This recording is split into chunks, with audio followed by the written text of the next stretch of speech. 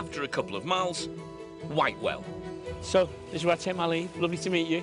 And you. Thanks. Great. Have a good day. Bye-bye. Francis and Liz are on their way, but we're taking a detour into the deepest past. First, though, we just need to negotiate these rather splendid stepping stones, which I hope aren't too slippy. Made it. On the far side, local archaeology lecturer Rick Peterson. Hi, Rick.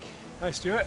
Hi. How, uh, how long have these stepping stones been here? Well, the stones themselves are quite new, but there's been a crossing here for a long, long time. This was a medieval deer park, so we know that people were hunting in this landscape hundreds of years ago. But the archaeological work we've done in this landscape, particularly on this farm, has shown that people were living in, and hunting around here six, seven thousand years ago. Wow. So there's a long, continuous history. Long time. In the hills above the river and the farm, evidence of those people. Rick takes me to the Fairy Holes cave. So here it is. Wow.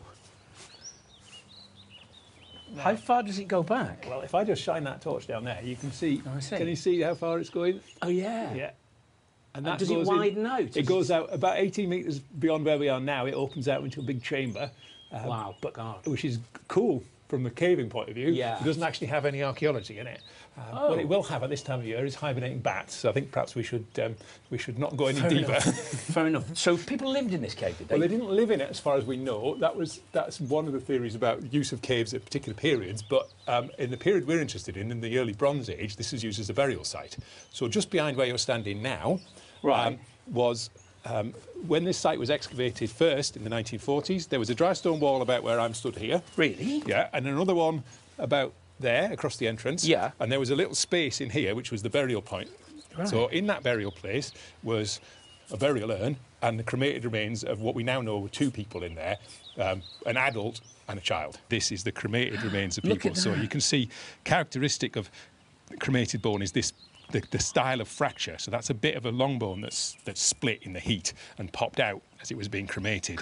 now in the 40s, they didn't recognise the human bone. They just found the pot, and they, that's why they thought it was a house or a living a Yeah. living cave. But when we came back and looked at it, we established that they were human bone. Do we know whether there would have been a family or anything? Um, we could potentially tell that if we had a bit better preservation. The problem with cremations is that they do get rid of quite a lot of evidence. Yeah. But if you're dealing with a single burial in one pot of an adult and a child, then the logical conclusion is that it's a family. family. Yeah.